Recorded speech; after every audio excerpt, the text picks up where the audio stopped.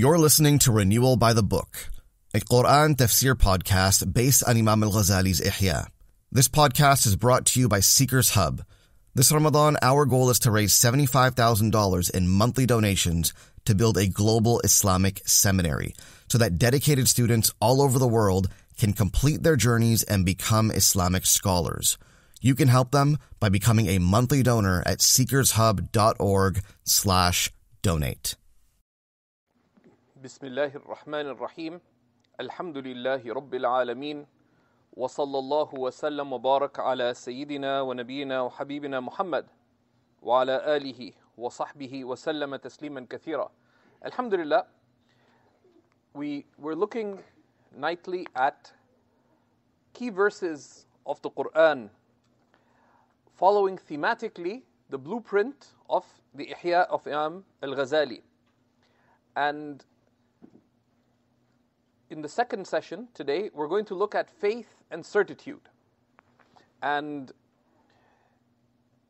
this f- follows the second book of Imam Ghazali's Ihya, which is on faith. And the verses that we're looking at are the closing verses of Surah Al Baqarah. The, these are known as Khawatim al Baqarah, and the Prophet sallallahu alaihi wasallam praised these verses tremendously. Right? When they were revealed, the Prophet ﷺ rejoiced more than he ever rejoiced at the revelation of any particular sets of verses. Right? And he said, ﷺ, that today were revealed to me verses the like of which were not revealed to any prophet before me.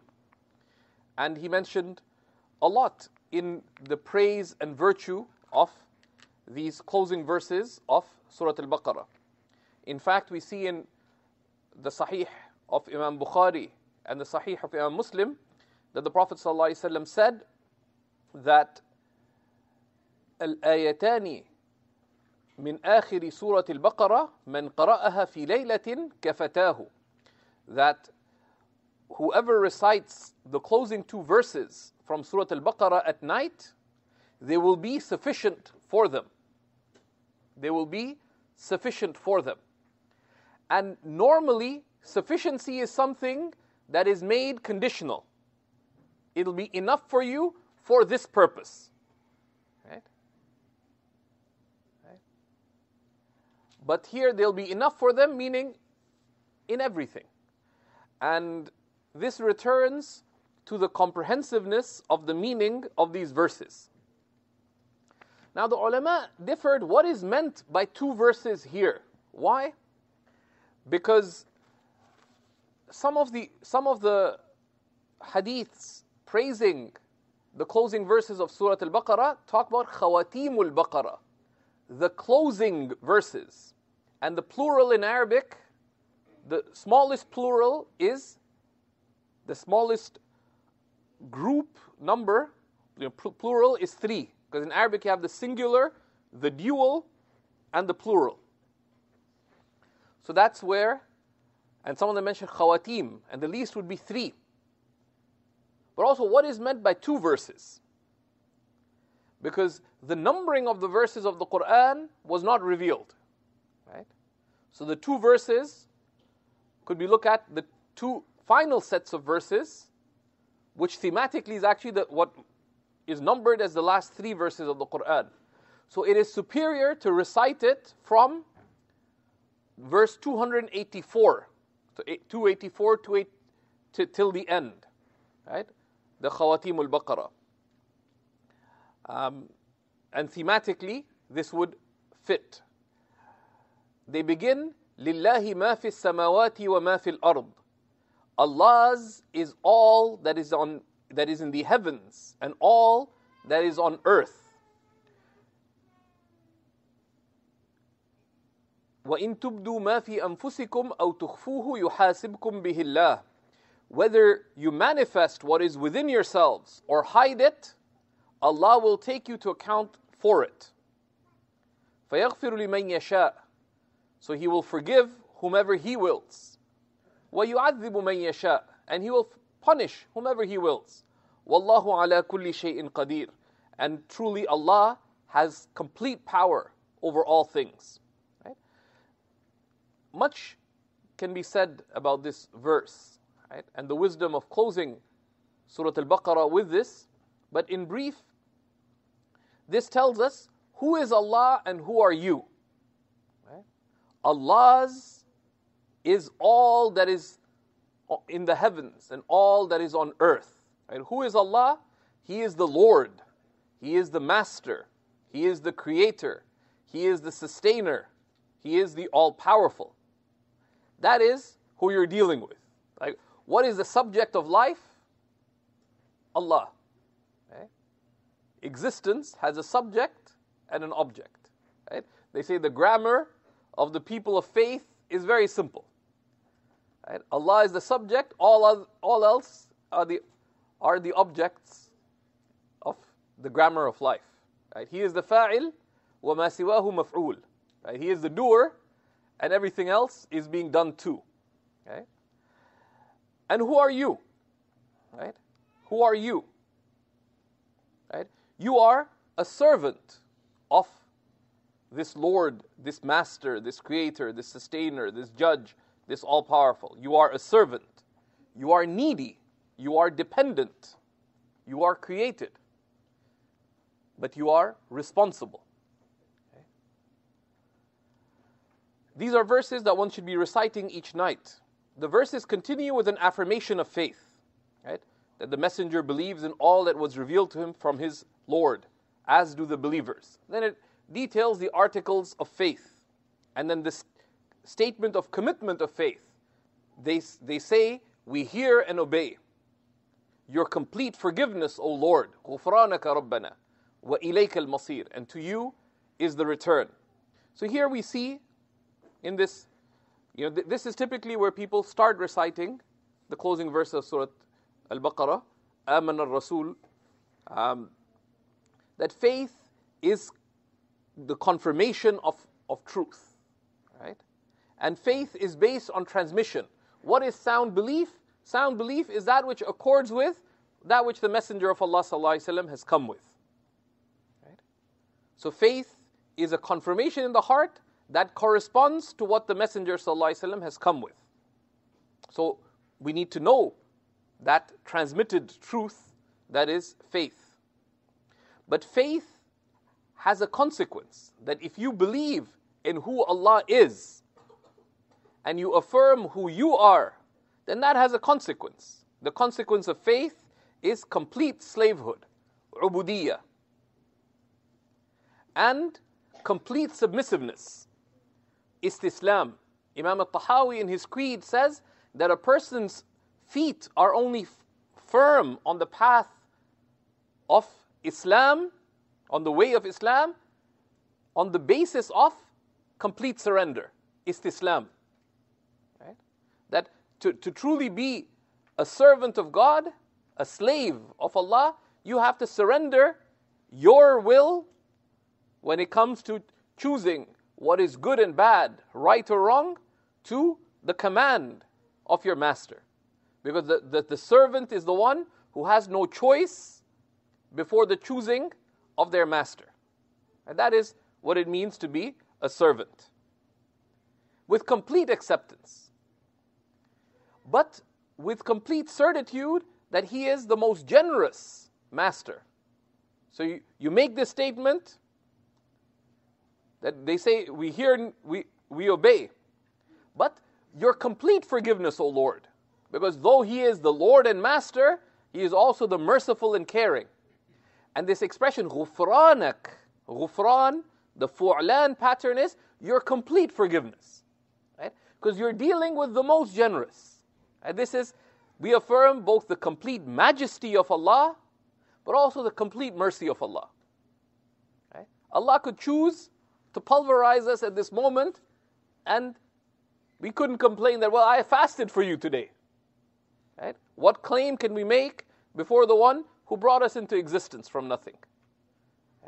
Your complete forgiveness, O Lord, wa ilayka al-masir, and to you is the return.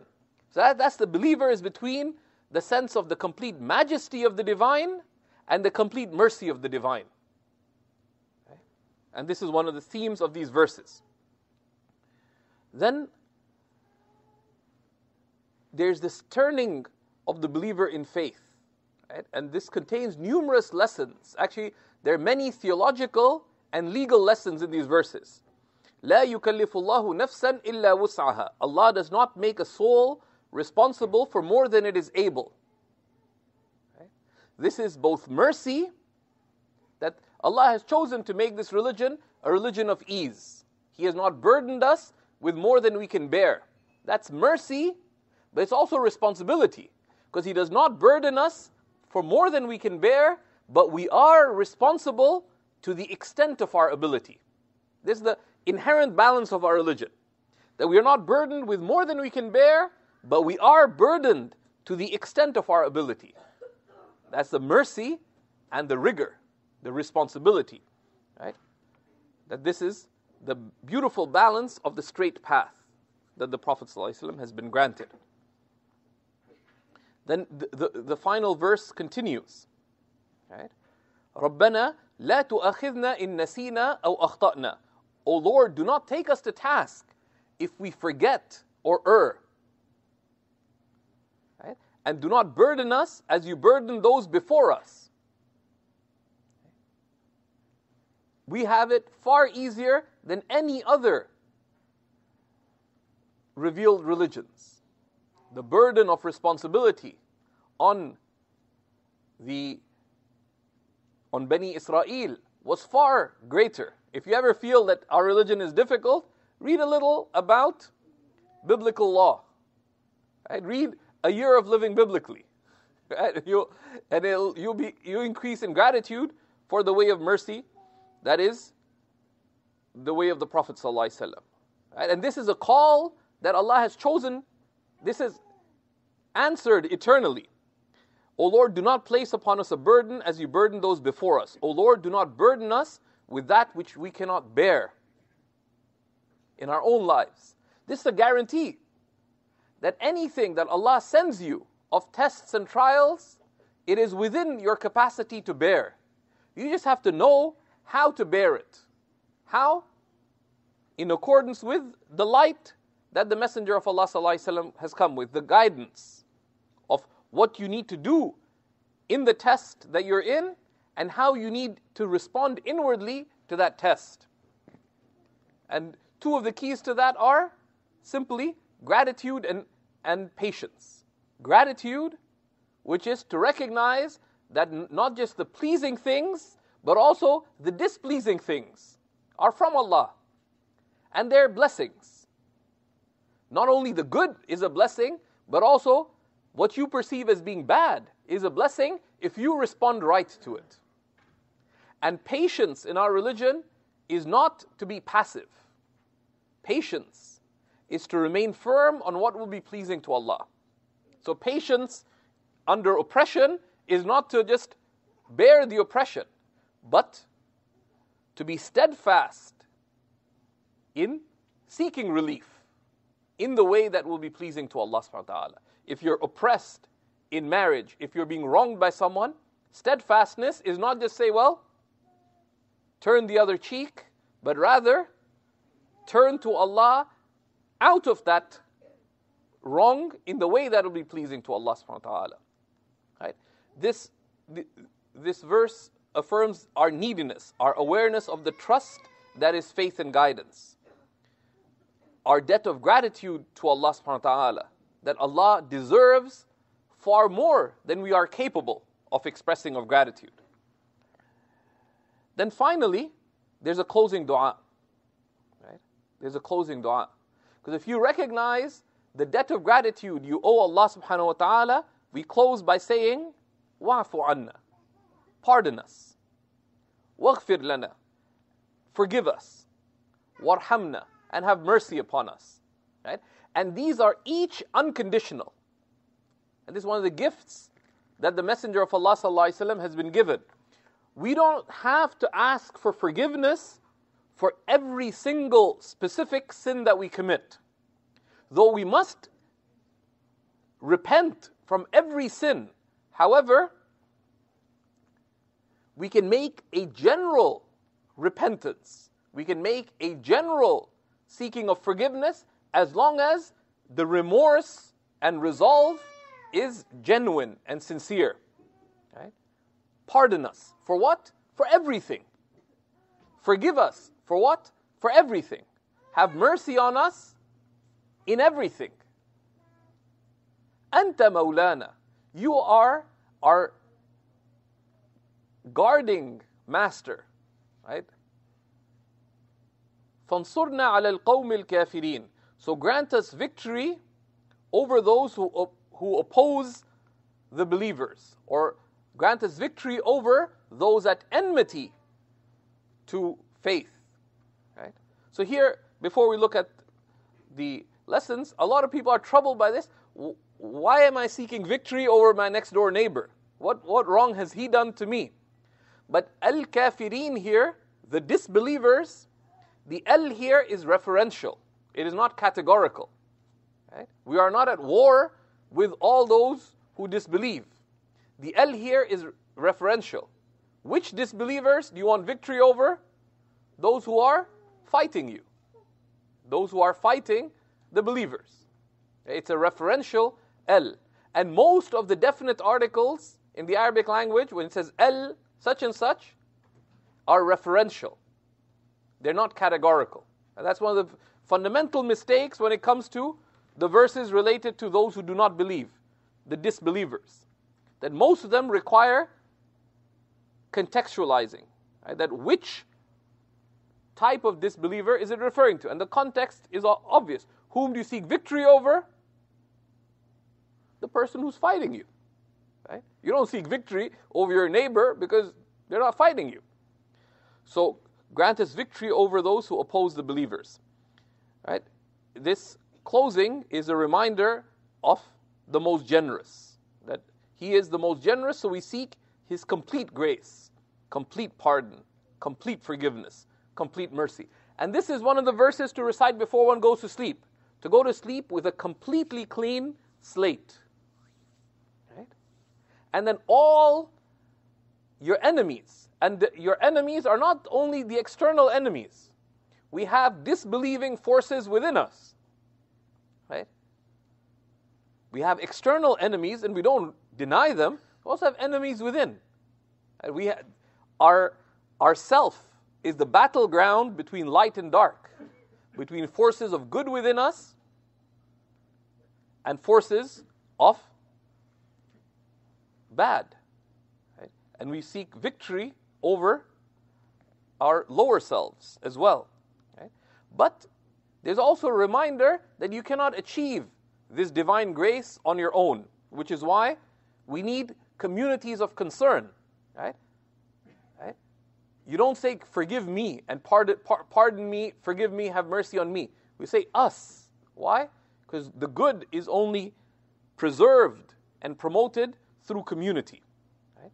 So this is a little bit of what could be mentioned about the, close, the, the, the closing verses of Surah Al-Baqarah. Recite them each night. And make it a routine because it's a sunnah of the Prophet ﷺ to recite them at night. Whether you recite them after the Isha prayer or you recite them before sleep, right? peg them to some part of your routine. There are three verses. If you use a Quran app, just put a bookmark, closing verse of Surah Al Baqarah, until you've memorized them. Right? The Prophet ﷺ said, Whoever recites these at, in any night, they'll be sufficient. And the ulama say that that's the, the best time to do it. If you forget and do it during the day, right, you're not dealing with an accountant. You're dealing with the generous. And if you re- read it after Fajr, Allah subhanahu wa ta'ala won't say, nah, wrong time, rejected. Right? There's an ideal time, and we follow that time. Anytime you recite them, these are truly blessed verses. We ask Allah subhanahu wa ta'ala for the realization of these meanings and that He make us of those who have this attitude that we hear and we obey. غفرانك ربنا وإليك المصير. And your forgiveness, O Lord, and to you is the return. um, we're going to look at the verses on purification tomorrow. Thank you for listening to this Seekers Hub podcast. To listen to the rest of our shows, please visit seekershub.fm. You can also subscribe to our weekly email newsletter called Compass, where we'll send the best of Seekers Hub's content straight to your inbox every single week. To get on the list, visit seekershub.org slash compass.